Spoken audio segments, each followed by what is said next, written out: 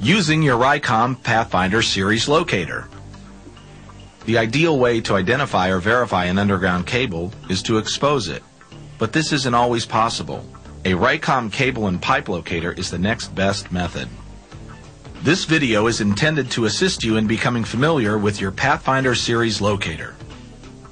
For more detailed instructions, it is advised to read the user's manual as this video is not intended to replace the user's manual or your company's procedures and policies. When possible, review utility maps of an area. By looking for signs of buried utilities, much information can be obtained about the presence of underground utilities before a cable and pipe locator is used. The Rycom locating system uses two instruments, a transmitter and a receiver.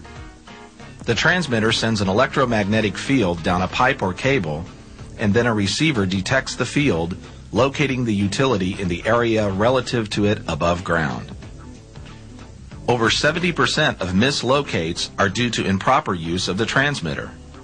Using the transmitter requires the greatest precision. If you can identify good connection sites and develop a good circuit, locating should be accurate and easy. The transmitter works by creating a circuit which is a complete circle of electric current.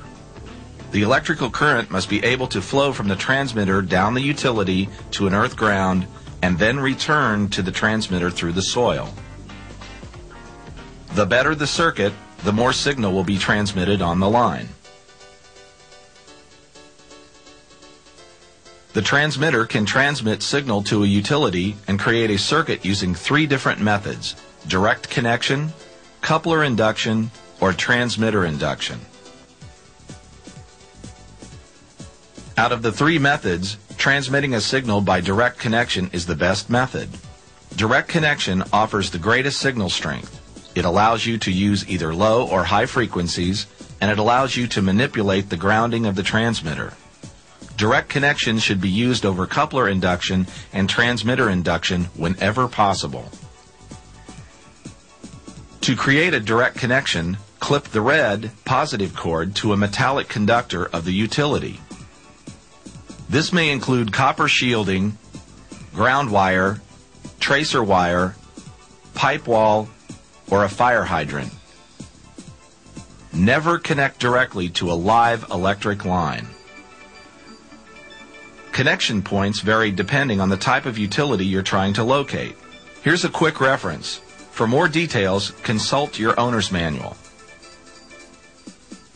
Ground the unit by connecting the black negative clip to the grounding rod or a nearby metal object such as a parking meter or a street sign. It's important to ground away from the transmitter at a 90 degree angle from the line. Grounding away from the utility allows for a proper return path. Grounding near or over the utility may cause the outgoing signal and the returning signal to interfere. It is also important to avoid grounding over nearby utilities. This may cause the signal to return on non-target utilities causing ghosting or interference. Ground away from other utilities. Ghosting and other interferences will be discussed in more detail later in this video. Dry, rocky, or sandy soil conditions create a poor return path for the signal. To improve the grounding conditions, water may be poured over the ground rod or a larger, deeper ground may be used.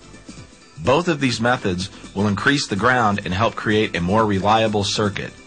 The greater the ground, the greater the signal strength. Always try using the low frequency first. If the signal strength is weak, check your connection of the red lead you may need to expose more cable surface area to clip to or scrape off more paint. Then try to improve the ground and lastly, increase the frequency.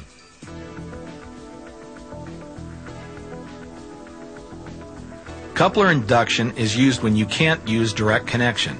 This includes on an energized power line or a telephone line that can't be interrupted.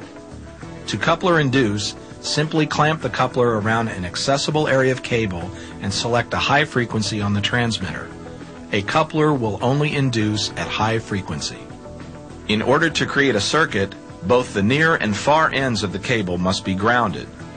Without the utility grounded at both the near and far end, coupling will not work.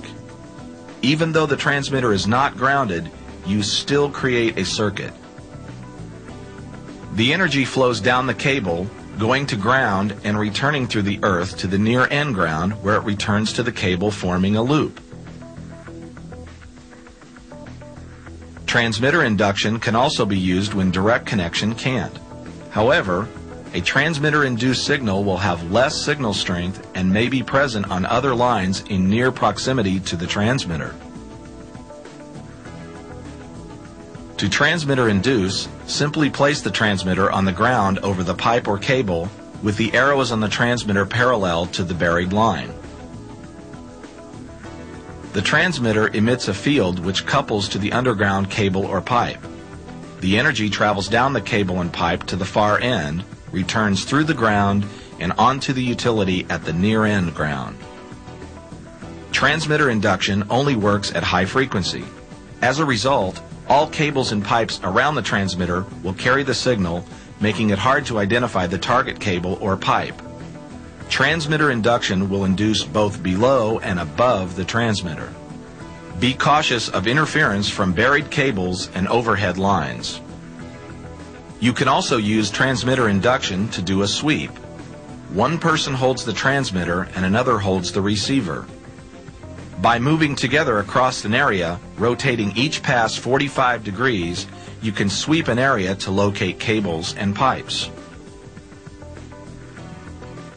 We've talked about the use of different frequencies, but we need to go into a bit more detail so you know the pros and cons of the frequencies. The high frequency 82 kilohertz is great at getting over different kinds of hurdles on the line. These can include anything from a sheath fault to rubber gaskets on water pipes to poorly conductive cast iron pipes. However, a high frequency can jump to a good conductor when you're actually trying to locate a poor one, so be cautious. The 82 kilohertz high frequency is also used for induction or coupling. The higher energy allows the signal to jump on a line. High frequency is not good for congested areas where many lines run next to each other because the signal can jump or bleed over onto nearby lines. High frequency does not work well over long distances.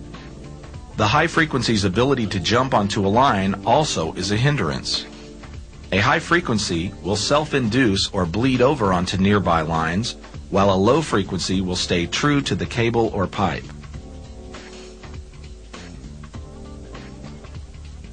The low frequency 815 Hz works well in a number of instances. These include on lines that conduct easily, in example, cable TV, telephone, and power lines. And since it stays true to the line, the low frequency is ideal for congested areas. Low frequency also works well over long distances. However, the 815 Hz low frequency does not overcome hurdles well, nor do low frequencies work well on poor conductors or for inducing. In review, it is best whenever possible to direct connect and use low frequency 815 Hz. By adjusting the ground, you can control the amount of signal strength on a conductor. High frequency should only be used when necessary. Coupler induction and transmitter induction only work with high frequency 82 kilohertz and do not allow for much manipulation that may improve the locate.